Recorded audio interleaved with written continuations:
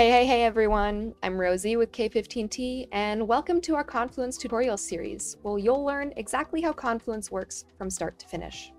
Our goal for this video is to leave you feeling confident in what Confluence is, why it brings so much value to your organization, how the overall structure works, and to get you off on the right foot when you're setting up your account. We recognize that there are two different deployment options when it comes to using Confluence. So just keep in mind that whenever we say Confluence, we are always talking about Confluence Cloud. And now that that's covered, let's dive in. Let's discover what Confluence actually is. Confluence is a web-based collaboration tool that enables your teams to organize, create, and discuss their work in a dynamic way. So you may be asking yourself, why should you use Confluence? Why do we use Confluence? Well, for one, it acts as a centralized knowledge base. It consolidates all of your work, including those digital materials and discussions, making everything accessible across multiple devices for your entire team. You'll always know where your information is because of this, and you'll always have access to it. Teamwork is also made easier since multiple users can edit pages at the same time, all while seeing the live changes that others are making.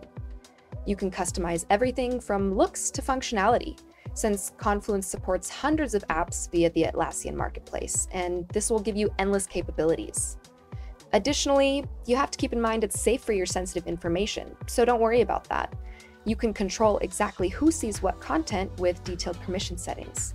Whether you're a small startup or a huge enterprise, Confluence can easily grow with your company. And with modern features such as whiteboards, databases, and automations, you don't need to rely on third-party tools anymore everything stays within Confluence. So in order for you to be as successful as possible when using Confluence, we need to go and understand the structure behind it. So you can look at this diagram as a representative of your Confluence site. And within that site, you have spaces. Each of these spaces are going to be virtual containers that represent the content for different areas or topics. So the topics that we have, just for example, are marketing, documentation, and an app team space.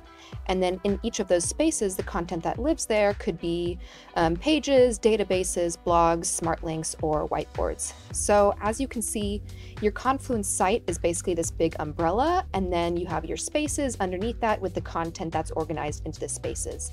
And everything is organized exactly how you want it to be and how it works best for your team. So what are you waiting for? Are you ready to get started with Confluence?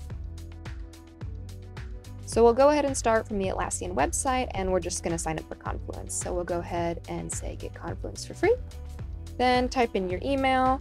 Obviously, it's not going to be the same one as mine, but you get the idea. Sign up.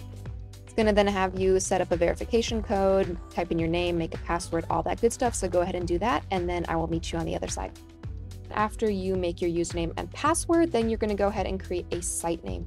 A site name is basically your URL. A lot of people will choose their company name, or if it's a really small company, you could just use your last name, whatever you like, whatever you identify your organization with. So I'm just going to use Rosie Tutorial and go ahead and hit continue. So right after you create your site name, then you're in and Confluence is going to ask you a couple questions to tailor your experience. So what would you like to accomplish? I'm just going to go ahead and say get alignment and share updates then you'll go ahead and click what kind of work your team is doing. So it's got this whole list. I'm going to go ahead and just click operations. Then to choose your first template. So you don't have to do this either if you're not sure, oh, I don't want to do an end of week status report yet. Totally fine. Um, but we're just going to click one anyways, just because we can see the layout and they're pretty helpful. It's a good asset that Confluence comes with. You could also start with a blank page, but like I said, we'll just go ahead and start with a template and then to invite your teammates. So this is where the collaboration part comes in. We really recommend that you onboard your teammates as soon as possible, and we actually have a best practice article about this, about why you want to onboard your teammates as quickly as possible. So if you already know who you want to invite and who's on your team, go ahead and invite them. Otherwise, you can totally do this later, so that's not a problem. Don't feel pressured. Then you'll go ahead and click Finish, and it'll create your Confluence site, and it'll then bring you to the interface. So now that we're here, congratulations! You just created your first Confluence site. What you see here is your dashboard overview, where Confluence already starts to guide you around.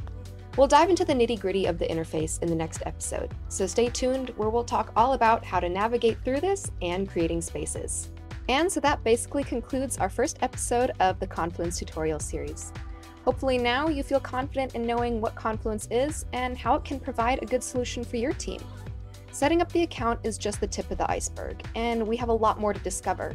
So in the meantime, go ahead and hit those like and subscribe buttons so we can keep helping you, and you can keep focusing on what you do best. Thanks for watching!